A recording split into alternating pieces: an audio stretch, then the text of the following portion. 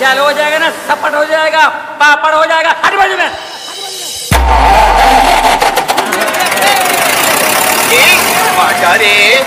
दल लागू లాగును